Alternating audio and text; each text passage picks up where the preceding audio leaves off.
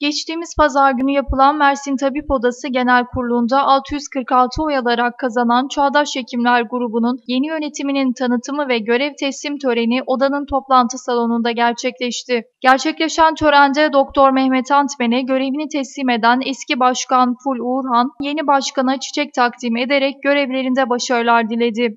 2018-2020 dönemi Mersin Tabip Odası'nın yönetim kurulu, e, onur kurulu, delegasyon, denetleme kurulu seçimlerini e, pazar günü e, tamamladık. Şimdiye kadar e, meslek e, tabip odasının en fazla katılımlı seçimi oldu. E, öncelikle buradan e, bütün üyelerimize teşekkür ederiz.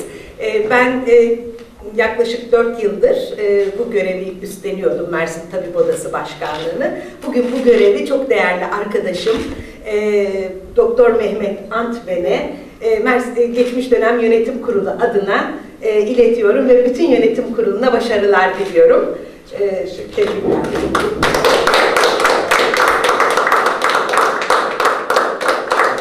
Daha sonra basın açıklaması yapan yeni başkan Doktor Mehmet Antmen, odanın gelecekte yapacakları çalışmalar hakkında bilgi vererek yönetim anlayışımız asla tek tipçi olmayacak ifadelerini kullandı.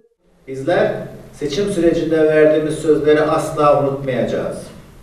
Geçmiş yönetimden devraldığımız anlayış ve güçle gerek hekimlerin ekonomik, özlük ve sosyal hakları konusunda ve gerekse de ülkemizdeki laiklik, barış ve demokrasi konularında gücümüz yettiğinde mücadele edeceğiz. Toplumsal cinsiyet eşitliği ilkemizden asla taviz vermeyeceğiz. Akkuyu Santral Nükleer Santrali ile öne çıkan, halk sağlığını etkileyen çevre sorunları ile için mücadele edeceğiz.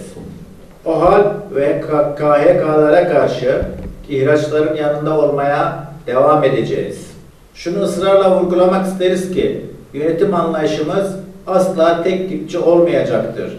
Ve bu anlamda gerek seçimi kaybeden, gerekse de seçimlere katılamayan üyelerimizin oda faaliyetlerine katılımı, oda komisyonlarına üyelikleri bizim açımızdan çok önemlidir. Mersin Tabip Odası, Mersin'de yaşayan tüm hekimlerindir. Odamıza sahip çıkmak da hepimizin görevidir.